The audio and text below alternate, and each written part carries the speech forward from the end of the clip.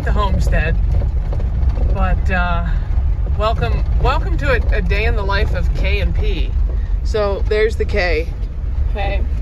Um, yesterday, um, if you if you watch the video, uh, we had uh, me going to town to give blood, whole angel donor thing, and um, somebody brought our jeep up to us, got it stuck, and wrenched the the transmission. So got stuck, can't drive it out. Bad snow, whole thing, and then our friend Tony came and rescued me and got me to town.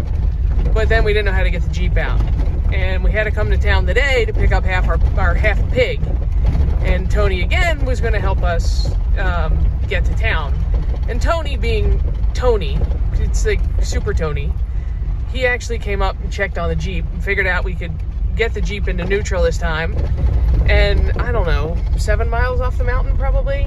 Yep, we're being towed. First Um, part of it, I was being towed backwards That was not fun. until we got to the S turn, and then He- we were able to Turn around. get me kind of parked and turn around.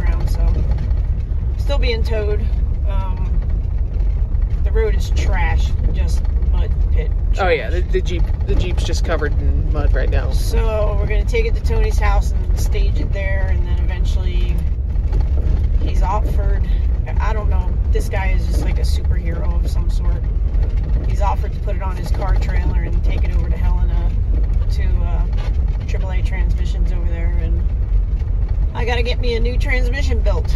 Only got 92,000 miles on this thing. It's an 08, but I've never had any issues or problems with it, so we're not just trashing it and getting rid of it. Um, I'm very bummed. I'm super depressed. And uh, I look at my hat today. Appropriate, right? Shit happens. Poop happens. Poop happens. And that was actually a gift from the Newtons one Christmas. They gave Yeah. it to me. So uh, anyway, this is our life today. Being towed by towed by our superhero friend Tony Stoddard, who is awesome. Can't say enough about him. Can't say enough about everybody in Deer Lodge. Just great people. So we still love what we're doing. Don't get me wrong. We still it was a beautiful ride out on the snow machine this morning to our meet point with Tony, and we wouldn't trade it for the world. But No, I mean it's almost 40 degrees today. I could use a little bit more sun, but it's almost 40. but this So- part sucks. You know, this was an un- unplanned event, unplanned expense. But, uh, Unfortunately, an unnecessary thing that shouldn't have happened, but So anyway, that's our life today. We're all good though. Everything will be all right. Love y'all. peace out.